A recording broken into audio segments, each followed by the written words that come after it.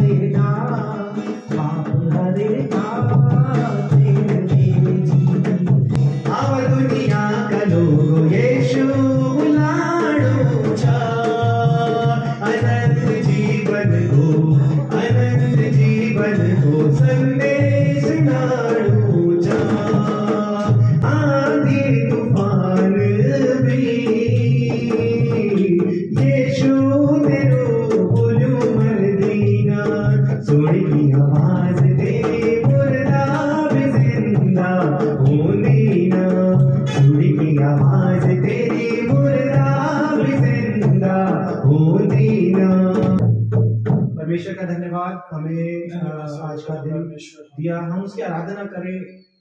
ये इसलिए नहीं क्योंकि हमें आराधना करनी है बल्कि इसलिए क्योंकि वो काबिल है। जो हमारे जीवन में कुछ भलाई देता है हम बदले में क्या करते हैं उसको? क्या करते हैं? उसका धन्यवाद करते हैं। आपका थैंक यू कोई हमें कुछ खाने को देता है थैंक यू है ना? लेकिन जिसने हमें ज़िंदगी दी, जिसने हमें इस दुनिया में रखा, जिसने सारी दुनिया बनाई और हमें उस दुनिया में रखा कि सारी दुनिया पर राज करो। उसके लिए हम क्या करें? उसको कैसे धन्यवाद दे सकते हैं? कितना धन्यवाद दे सकते हैं उसे? जितना धन्यवाद करें, उतना कम क्योंकि ये ज़िंदगी उसी की तो दी हुई है। और इस ज़िंदगी के बाद जो ज़िंदगी है, उसका लेखा भी उसी ने लेना है। कि मैंने तुम्हें ज़िंदगी तो दी तुम्हें खूबसूरत परिवार दिया तुम्हें अच्छा घर दिया तुम्हें बीमारियों से बचाए रखा लेकिन तुमने बदले में मेरे लिए क्या किया?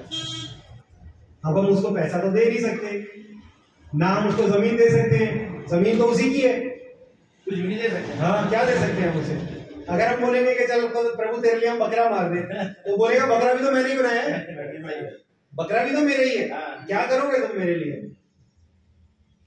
तो हम उसे कुछ भी नहीं दे सकते। सिर्फ़ ये कि हम अपने दिल से, दिल की गहराई से निकलने वाला धन्यवाद हम उसे दे कि, हे पिता, तेरा धन्यवाद कि तूने हमें खूबसूरत ज़िंदगी दी।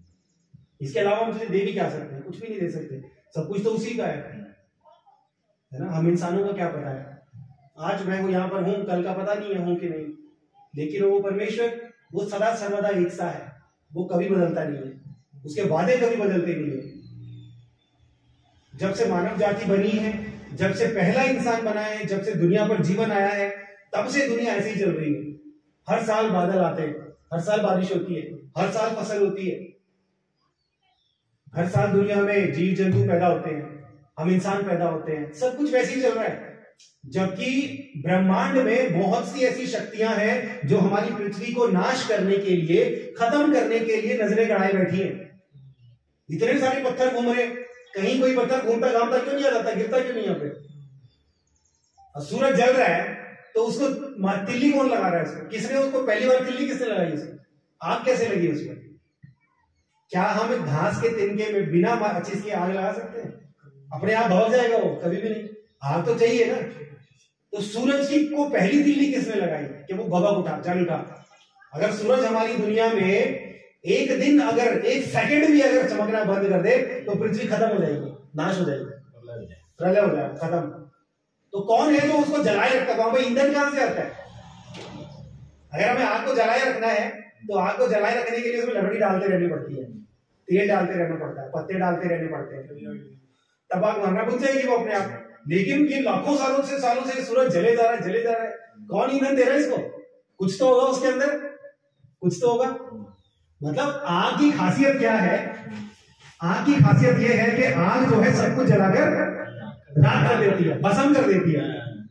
ये उसकी खासियत है। आग को जलते रहने के लिए ईंधन चाहिए है ना? अगर ईंधन खत्म तो आग खत्म। जंगलों में आग लगती है क्या सारा टाइम चलती रहती है? जब तक तो उसको सूखा घास पत्ता मिल रहा है तब तक तो चलती रहेगी। लेकिन जब सूखा घास पत्ता खत्म हो गया तो आग बंद। लेकिन ये जो सूरज लाखों सालों से लगातार उतनी ही रफ्तार से जल रहा है तो इसको कहाँ से ईंधन मिल रहा है? इसके अंदर ईंधन की फैक्ट्री लगी है क्या सूरज के अंदर?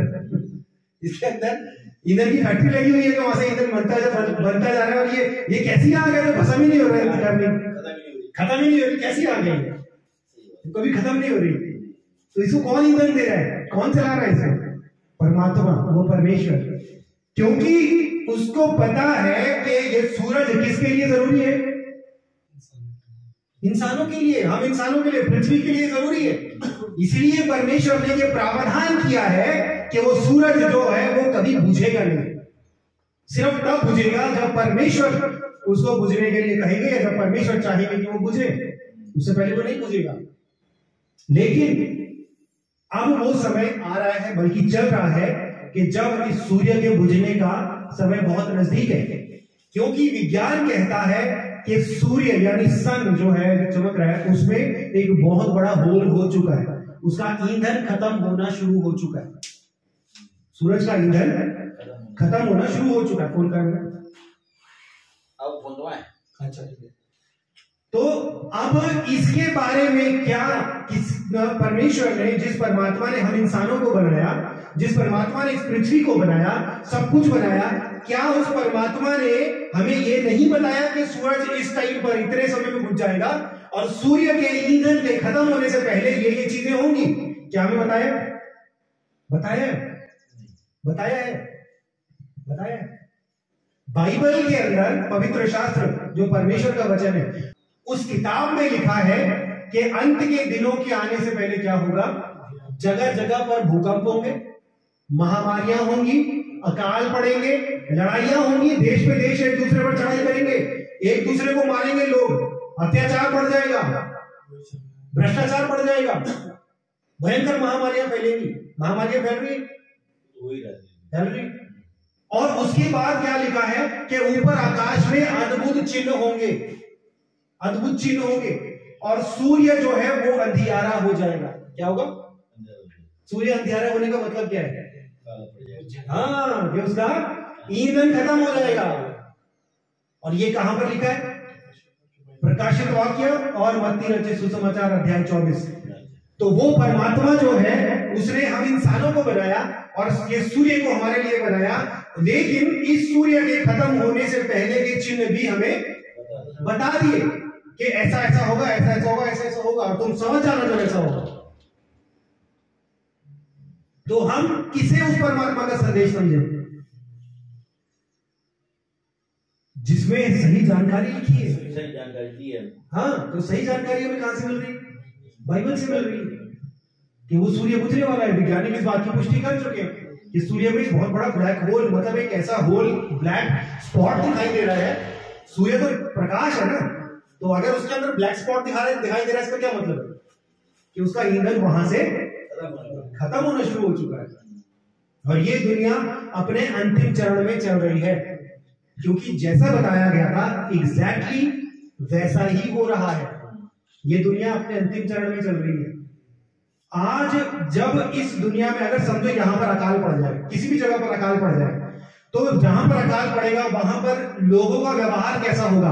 वो एक दूसरे को जाके खाना देंगे, और जिसके पास ज़्यादा है जिसके पास है उससे भी छीनेंगे, क्या करेंगे? उसको भी छीन लेंगे क्योंकि अराजकता दुनिया में चरम पर है। लोग आज एक दूसरे की मदद करने को तैयार नहीं एक दूसरे को खा ज़रूर लेंगे।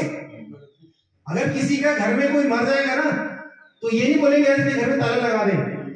लोगों को भेजेंगे जाओ तो मर गया, उसके घर में से कुछ जो तो अच्छा मिले लिया होता ऐसी दुनिया हो रही है। दुनिया से प्रेम, सद्भावना भलाई, कृपा, नम्रता, संयम, ये सारी चीज़ें खत्म हो रही है। क्योंकि दुनिया धीरे धीरे अपने अंत की ओर बढ़ रही है। लेकिन अंत होगा कैसे? क्या बताता है परमेश्वर का वचन हमें अंत ऐसे होगा कि जब इस दुनिया में पाप और बुराई अपने चरम पर पहुँच जाएगी ना, तब परमेश्वर का प्रकोप और क्रोध इस दुनिया पर आएगा। और परमेश्वर उन सबको जो बुरे हैं, जो बुराई करते हैं, उन सबको परमेश्वर मिटा देगा और कौन रह जाएगा दुनिया में? सिर्फ़ वो जो भलाई करते हैं। सिर्फ़ वो जो अपने से पहले औरों का सोचते हैं। जो अपना पेट भरने से पहले ये देखते हैं कि मेरे बगल में जो रह रहा है, उसने खाया कि नहीं खाया। वो लोग दुनिया में रह जाएँगे। और अगर हम आज इस बात को अगर जांचे, विचार करें तो अगर परमेश्वर का लोगों को बचाने का पैमाना ये है तो क्या लगता है कितने लोग बच जाएँगे दुनिया में? कितने बचेंगे? कितने होंगे ऐसे? कितने होंगे ऐसे? मुट्ठी भर। गिनती में होंगे। है ना? क्योंकि बुराई करना हर किसी को अच्छा लगता है। लोगों को आज फ़र्क नहीं पड़ता। मतलब अगर सड़क पे कोई चप्पल छोड़ के चला जाए ना तो कोई ये नहीं करेगा कि संभाल के उनको साइड पर रखता है कोई छोड़ गया होगा उसको उठा के अपने घर ले जाए। अभी पिछले दिन में बारिश हो रही थी, मैं गाड़ी लेके जा रहा था तो सड़क पे बड़े बड़े पत्थर गिरे हुए थे। और लोग ऐसे निकल रहे हैं, ऐसे निकल रहे हैं, ऐसे निकल रहे हैं, बचा बचा के। मैं देख, थोड़ी देर रुका मैंने देखा, मैंने कहा, यार, पत्थर कम से कम पंद्रह पत्थर होंगे ज़्यादा नहीं होंगे वो, लेकिन उन पत्थरों की वजह से किसी ना किसी का एक्सीडेंट हो सकता है। अब लोग बचा बचा के धीरे धीरे करके ऐसे ऐसे करके निकल रहे हैं, लेकिन किसी की हिम्मत नहीं हुई कि कम से कम एक पत्थर, ज़्यादा नहीं सारे रहने दो। कितनी गाड़ियाँ गुजर रही है, एक घंटे में पचास गाड़ियाँ गुजर रही है, पत्थर कितने हैं? पंद्रह। अगर एक गाड़ी रुककर एक पत्थर भी उठा ले तो पंद्रह गाड़ियों को गुजरते गुजरते रास्ता साफ़ हो जाएगा। लेकिन लोग सोचते हमें क्या पड़ी है? जो मरता है मरता है। हमें क्या पड़ी है? हम तो निकल जाएँगे, भैया, जिसको मरना है, मरे। क्योंकि दुनिया में आपसी सहभागिता खत्म हो चुकी है। लोग एक दूसरे की परवाह नहीं कर रहे हैं, है ना? इसलिए परमेश्वर जिसने इस दुनिया को बनाया बाइबल कहती है कि परमेश्वर ने जब इंसान को बनाया तो परमेश्वर ने अपने स्वरूप और समानता के अनुसार बनाया है। यानी कि परमेश्वर ने हमारे अंदर वो गुण डाले हैं जो खुद परमेश्वर के पास है। परमेश्वर के पास क्या गुण है?